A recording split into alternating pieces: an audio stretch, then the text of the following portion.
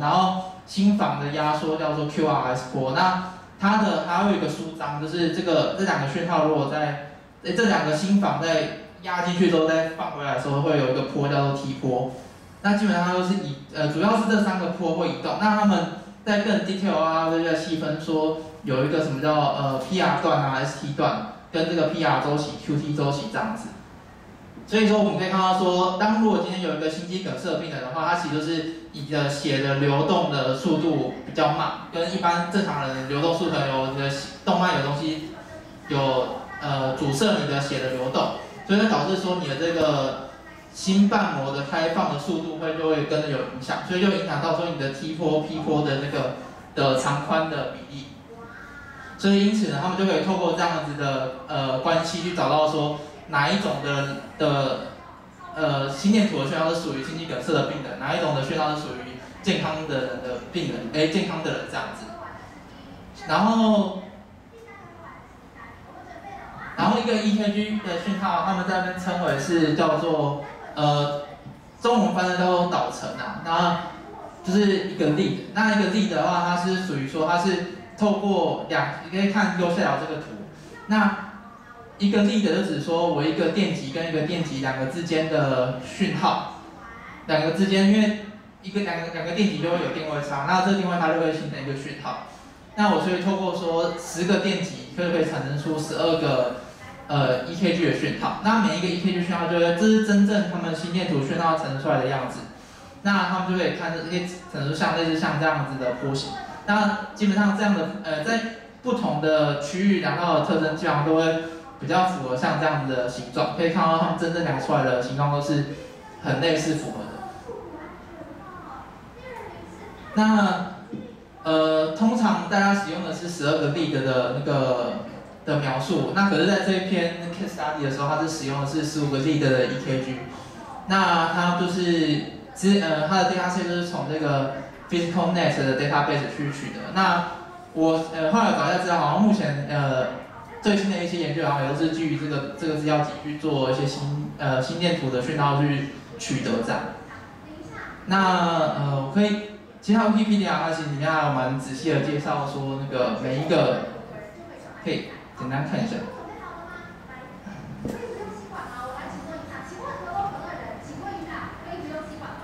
就是可以看到它，虽然它只有粘十个电极，那十个电极粘的位置就会像是说，哎，刚刚那张图就是。它会在，最主要是会有六个是连在心脏附近，然后另外四个是连在我们的左手、右手跟左脚、右脚的地方。那就会去透过这样子的话，就会有各自的十个电极的位置在这些位置。然后之后它就会透过每个电极之间的关系，像说刚刚有看到说它的导程一二三就是左臂跟右臂的电位差这样的关系，哦二二导程二就是左腿跟右臂。那它像还有下面是说。呃，A B R、A B L、A B F 都有各自的呃定两个定位差之间的关系。那这些关系、这些特征都是呃透过呃从以前到现在人们去观察呃心电所讯号，说哪些是呃跟病人相关的一些讯号可以拿来使用的，对。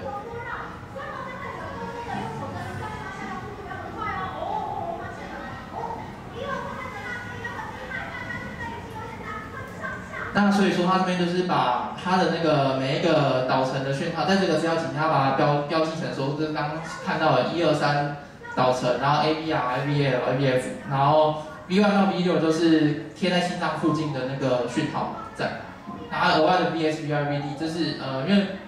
Wikipedia 只有十二个导程的，所以没有看到十五个导程，这是代表这是什么意思的？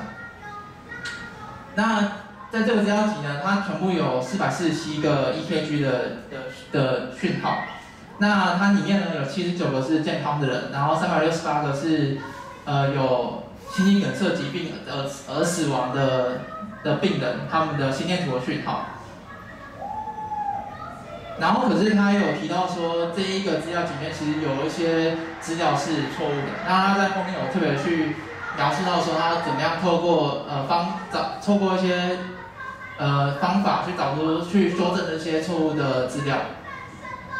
然后它每一个讯号呢，它其实都是量测，呃，用一千赫兹的量测讯，呃，量测呃几分钟。可是这么多的讯号的话，就是你每分钟然后有一千个赫兹的资料，这其实它资料量太庞大了。那所以在这边，如果它其实是它其实是用那个传统的，哎，它其实用人类设计的，就是人类观察，呃，心肌梗塞病人他会有什么样的特征，然后就是这样去找出，去，呃，去这样去找出说一些特征。它不是像说传统的会用一些什么 PCA 降维的方式啊，或是一些传统的降维方法去做，它是直接取用是人类设计的，人类观察病人而看到的特征去截取这样。所以，呃，这就是呃，这一个人他就是第一个发呃去发现说一些心脏相关那边，哎，心电图的讯号，然后跟一些病人的一些心呃，其实它不只是心肌梗塞，还有其他一些心脏相关的疾病都可以通过这心电图的讯号去找出来。那这个就是他的这边描述了，呃，在这第一个呃这边他就描述了很多不同的的疾病，它的的特征是什么。然后在这一边，呃，在这个 case 它是基于这个文献去描述它的特征，所以它整个特征，其实它们有四七个特征。那其实大多数都是跟那个跟这个波形有相关的，像说像下面看到说什么呃 QT 的 interval 啊，然后还有 PR 的 interval 之类相关东西。那比较常见的说是你的年龄，然后你的性别，然后你的心脏的呃最大心脏的跳动的呃速度这样。这是比较常见，然后其他都是几乎都是跟这个，呃，这个心电图有关系。对，这边都是都是心电图的平均，呃，这个 segment 的平均值啊，那就是它的 Rumi square error 这样。哎，呃，它 RS 对。那接下来呢，它就是要准备去做训练，然后要去分类说这个心电图的讯号是属于是，呃，是健康的还是是有疾病的。所以他就是，呃，我们刚刚讲到他有四百四十七个记录，然后他就把说健康的的它的光数值标记为一，然后不健康的是就标记为负一。那它的特征的 input 都是四十七个维度上。那，我这边再提到说，因为我们刚刚提到说，我们因为它的资料里面，就是其实，在大多数的医疗资料里都有这种趋势，就是说健康人的呃。应该我觉得很多的呃应用都有这样情况，就是资料是 imbalance 的，就是呃健康的人比较少，可是不健康的人的资料比较多，所以这导致说你在训练的过程中，可能会导致呃比较偏向，他没办法去辨识到健比较健康的人的资讯。好，应该很快。一般来讲，就是他这个 case 比较特殊啊，因为他可能是要集，就只专门收集，哦。有心肌梗塞，然后随便塞几个健康的，那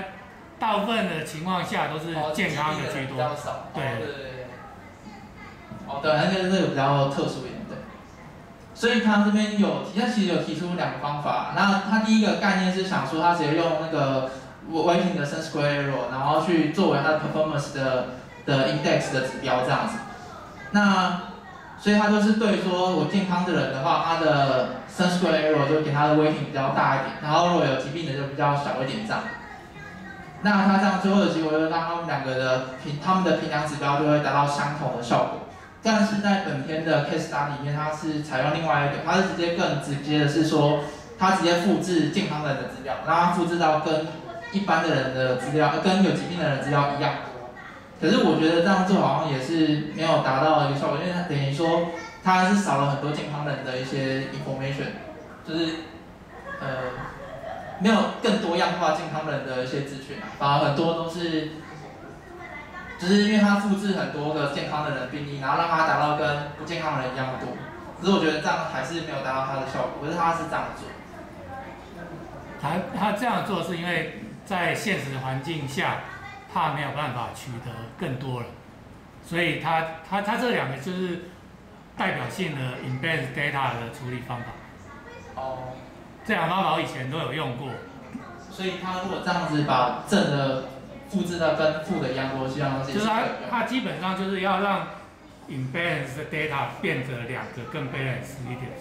好，那 imbalance data 如果如果是两类，就是一个多一个少，所以我们就要一种一种，它就是里面用的方法就是把它少的那个，好，每次的时候就重复绕。对对对比如我们在训练的时候，它就是从从里面在这这些少的样本里面随机捞一个出来，好，让它看到的次数，好，跟另一类多的样本次数是一样多的。可是我在想说，它可以补一些回来，但是它跟你两个都一样多，还是有还是有差因为小花这样的话，它健康的人的多样性好像就比较少一点。那另外一种它有提，但是它没用，就是第一种，它它用 weighting 的方式，那这种就是一般你在写的时候，比如说我们在 train 的时候，它有那个 loss 嘛，我就把那个少的那个的 loss，把它设一个比较大的权重，就它惩罚更多就对了。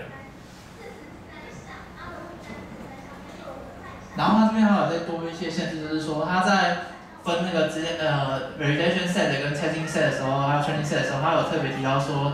复制的 data 它都基本上都只有在 training set 会出现，然后在 validation 跟 testing 的时候没有复就是没有复制的 data 这样子，然后就是 validation 跟 testing 都各十五趴，然后 training 七十趴这样。然后它这边一样，就是做一些正规化，然后是基于呃前几个章节的方法，然后就把我 input 的资料把它正规化到负一跟一之间，然后基于这个方式去做。那另外它就是还有呃为了避免那个 s i m i l a r function 的饱和的问题，所以它将它 s i m i l a r function 的速度调整到负零点七六到正零点七六这样子。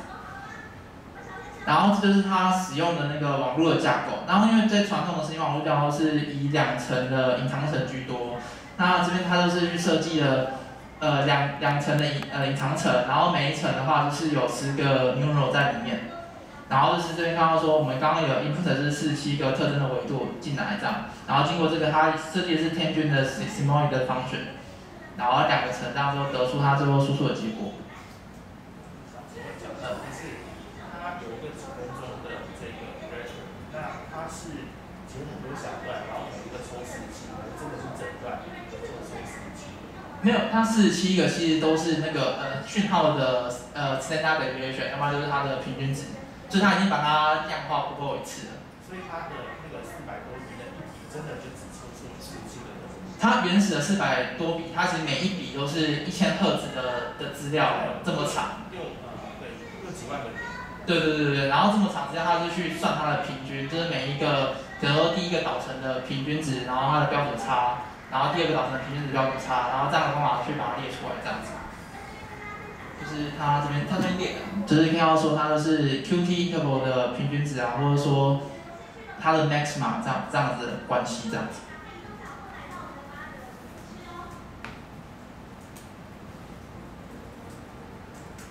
然后它在这边的话，它的优化方式是使用那个共轭的梯度方法去做计算这样。然后他就是他有提到说，应该在那个时候，那个时候他是说这是呃，for 佩戴美丽水是最好的，又最有效率的方法在。然后他们使用的是提早呃提早停止方法去避免呃神经网络 overfitting 在。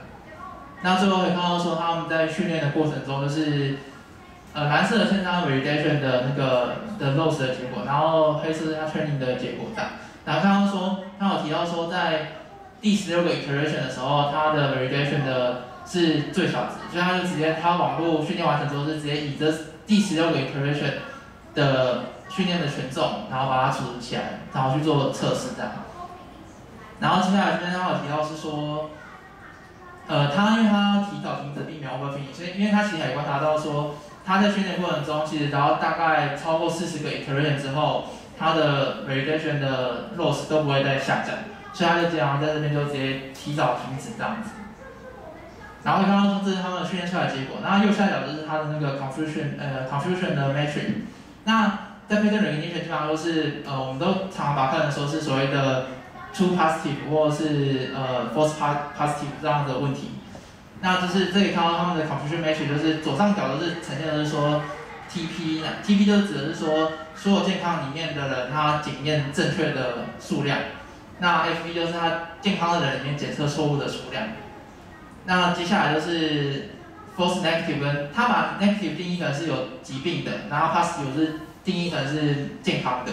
所以说，然后说，呃，有疾病的人会比较多一点。所以这样这样子。然后所以看到说，呃，经这样看算出来看到它的 accuracy 就大概九十二点九，然后 precision 也是九十二点九，recall 七十二点二这样。那这个 confirmation 好像跟传统不太一样，它是把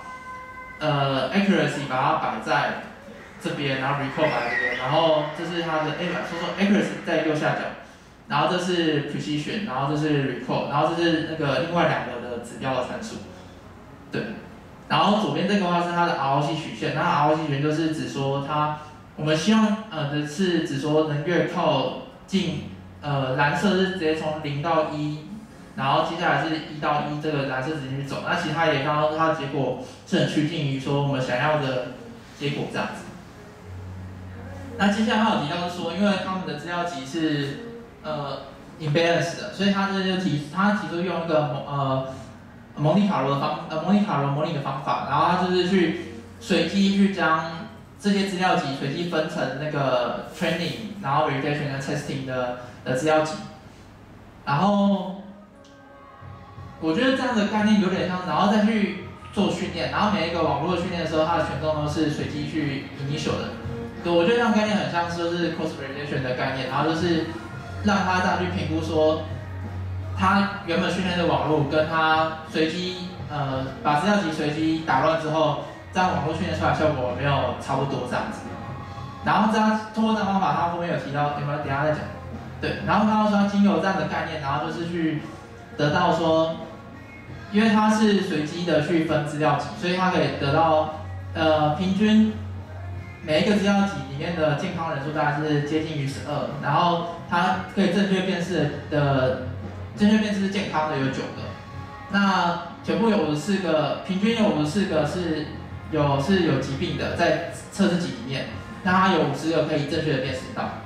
然后会看到说它的 accuracy 也是很接近于说原本的原本刚刚的网络的结果，然后只是说它的 precision 就有明显的下降这样，然后他有提到他有去记录说呃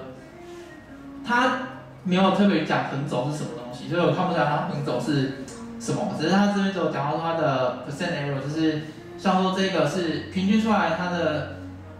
accuracy 是九十点五，所以它的平均出来的误差率就是九点五这样。只是他没有，所以看到他的这个呈现一高斯分布，然后它的的平均值就是在九点五在正中间的部分这样。只是没有去特别提到说它这里横轴代表是什么样的意思呢？然后他就是讲，因为刚刚前面有提到是说，这个资料集它其实有含有一些是错误的标标注，所以他是说，他可以可以通过这个蒙蒂卡罗的方法去帮助说，去找到一些，就是如果你在重复的这样在训练的过程中，发现都有一些资料是呃误，就是被误判的，就永远代表说是这个资料是你标记错误的，就是通过这种蒙蒂卡罗的方法，然后去随机分资料集，然后会去检查检查。误呃就是错辨识错的资料里面有没有重复都同样一笔资料都是辨识错的，然后就会去修正它这样。然后他另外就是提到是说，呃，通过一样通过同样的方法，他就会去可以看到可以去发现说，都辨识正确的资料里面到底还有什么样的特征可以更能代表说是属于这种一呃，通过心电图去找到心肌梗塞病人里面更重要的一个的特征在哪里这样。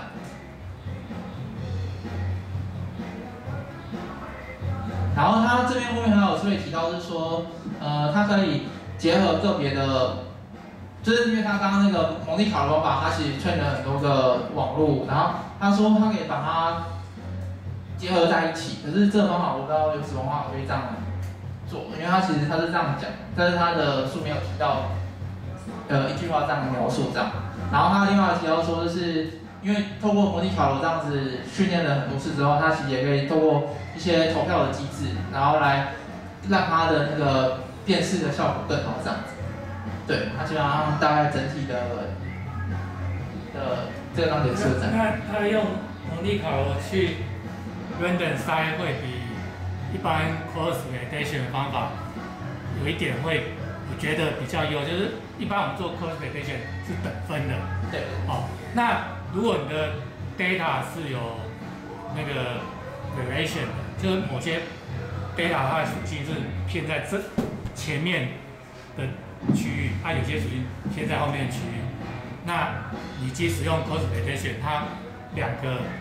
好这几个模型，那结果就会差异比较大。但是它是 random 去筛的，所以它分成一千组，每一个的组成都都是 random 筛进来的，所以它比较对于我刚刚讲那种情形，它的哦抵抗力会比较好。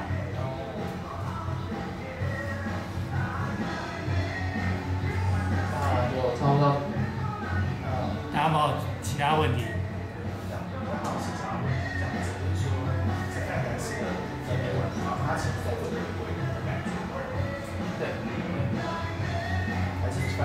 也是都可以啊，就是那个分类一派一，就会成一派一。那那这是在做二元分类啊，有的没有。也是二元分类，它它只是只是它它那个 loss 是 MS，也是这本书比较旧了，哦，所以所以在在在那个年代，有很多现在我们常用的手法，在那个年代并不普遍。不过它有一些东西，在我我觉得看本书有一些东西，其实在现在，我觉得在过去的历史长河，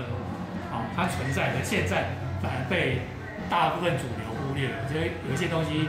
可以从书里面捞到一些蛮蛮 surprise 的一些哦有用的资讯。另外一个我是比较好奇，你说像有些我们玩的，就是初学机器学习会弄月尾花数据，弄扩大，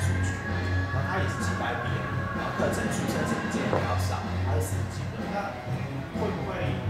就是拿这个，当然网络它也不大，然后我们要拿那种机器学习的东西去分，因为它课程都已经收好，那效果你才会知道。有时候他们他用记忆学习，然后直接做它的那个分类的效果。蛮蛮好奇的是，可能传统机器学习，如果像说用 SVN 的话，我觉得应该也是可以做做得出来，因为它也是单纯也是单纯二元类而已，对吧？这样这样的 data 跟 machine learning 可能搞不好 machine learning 的结果会好一点。是就蛮好奇的。好，如果没有其他问题，谢谢博士，谢谢。